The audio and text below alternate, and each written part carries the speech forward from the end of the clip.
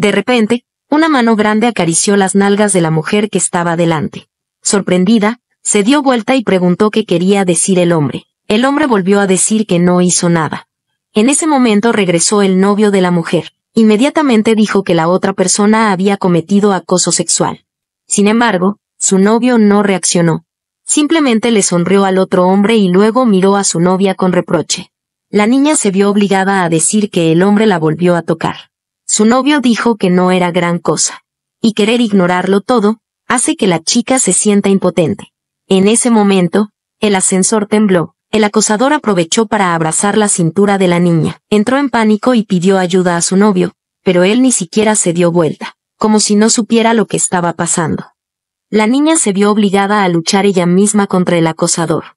En ese momento, el ascensor volvió a parpadear y volvió a la normalidad. Su novio se ofreció a bajar del ascensor, pero la chica se sorprendió porque aún no habían llegado. Su novio la agarró de la muñeca, miró al acosador, sonrió y le dijo que estaban aquí. Después de eso, la sacó, a pesar de que el acosador continuó burlándose de ella. Cuando el novio sacó a la chica del ascensor y se dirigió a un rincón escondido, comenzaron a discutir sobre lo que acaba de pasar.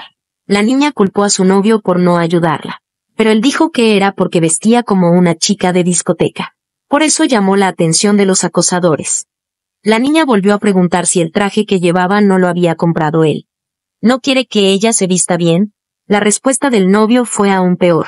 Dijo que le compró ropa para que se viera hermosa, pero déjalo en casa para que él lo vea, no para que ella se vista como una prostituta y salga a llamar la atención de los hombres. La niña inclinó la cabeza avergonzada, sintiéndose extremadamente confundida. Incluso inconscientemente se bajó la falda. Sin embargo, todavía quería denunciarlo a la policía para que otras niñas no se convirtieran en víctimas. Pero su novio se negó. Él pensó que era algo vergonzoso y le pidió que fuera a casa y se cambiara de ropa. Media hora después fui al restaurante a comer.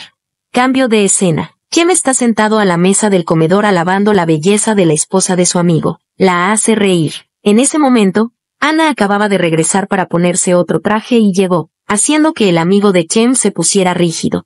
El amigo y su esposa la miraron durante mucho tiempo antes de hacerle un cumplido a regañadientes. Chem empezó a alardear de la ropa que le compró a Ana. Pero cuando me di vuelta y vi lo que llevaba puesto, le preguntó por qué no usaba el traje que él compró. Ana no supo qué responder. Chem tuvo que encontrar una razón para explicarlo. Y cambia de tema invitando a todos a beber. Ana también se sentó siguiendo las instrucciones de Chem. De repente, Chem anunció que había invitado a su amigo. Fue para presenciar un momento importante entre él y Ana. Cuando vio sus caras de sorpresa, Dijo que quería proponerle matrimonio a Ana. Ana levantó la cabeza sorprendida para mirar a Chem, cuando vio los ojos benditos de todos a su alrededor. Sonrió de mala gana. Chem puso el anillo sobre la mesa, le preguntó si se casaría con él y luego miró hacia sus amigos. Cuando no recibí respuesta de Ana, le puso la mano en el muslo y le preguntó si estaba tan feliz que no podía hablar. La esposa del amigo también le indicó a Ana que aceptara. Mientras Ana dudaba, la mano de Chem en su muslo se apretó, instándola a aceptar. Bajo doble presión, Ana aceptó de mala gana.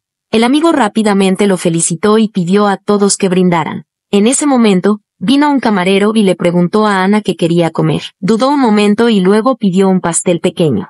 Sin embargo, Chem la agarró por la muñeca. Y le pidió al camarero que le trajera un vaso de limonada y ensalada de verduras. Dicho esto, lucirá más bella con un vestido de novia. La camarera mencionó que también tienen postres sin azúcar. Ana inmediatamente miró hacia Chen para ver su opinión. Cuando vio que él no estaba de acuerdo, rechazó activamente la oferta del camarero. Le devolvió el menú y elogió a Chen por preocuparse por ella. Después de cenar, Ana miró el anillo que tenía en la mano y se sintió incómoda. La otra mujer inició una conversación de manera proactiva y bendijo a Ana. Pero Ana solo sonrió torpemente. Al darse cuenta de esto, la mujer preguntó con curiosidad por qué Ana era tan reacia. Dile que siga hablando y la ayudaré a analizarlo. Ana tuvo que contar la historia del acoso en el ascensor, pero Chem no la ayudó. Sin embargo, la mujer encontró esto absurdo. Pero creo que eso es algo bueno. Porque Ana definitivamente no quiere que Chem pelee con el acosador por su culpa. Ana continuó hablando de que Chem criticaba su forma de vestir. Sorprendentemente, la mujer estuvo de acuerdo con Chem. Di que los hombres gastan dinero en ti y que debes vestirte bien solo para que él lo vea. Esta declaración hizo que Ana sintiera que su visión del mundo se había puesto patas arriba. La mujer continuó diciendo que ella y su marido también vivían así. Él gana dinero para mantener a la familia y ella hace lo que le pide. Ana se sintió confundida. Pero la mujer explicó que fue su experiencia tener un matrimonio feliz durante cinco años. Ana poco a poco se fue convenciendo e incluso pensó que la otra mujer tenía razón.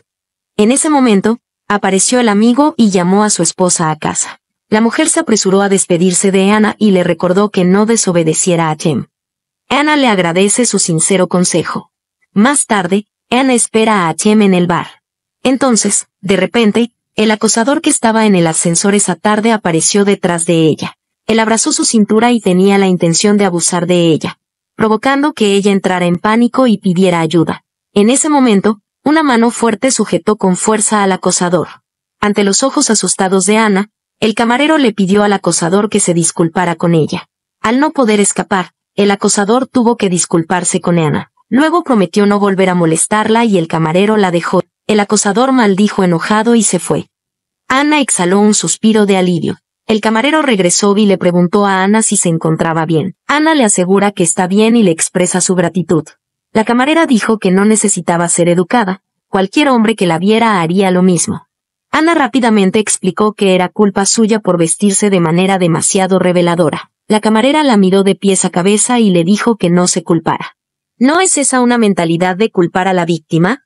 ¿Por qué el agresor puede actuar libremente mientras la víctima debe vivir con miedo? Ana dijo que Chem a menudo la menosprecia así, dijo el camarero a pesar de que no entendía las acciones de Chem.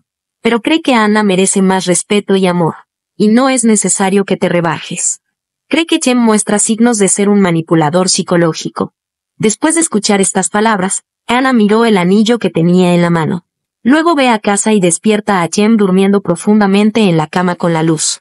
Tim la miró y sonrió, preguntándole qué quería al despertarlo. Ana, como si acabara de despertar de un sueño de amor ciego, dijo que ya no sería estúpida.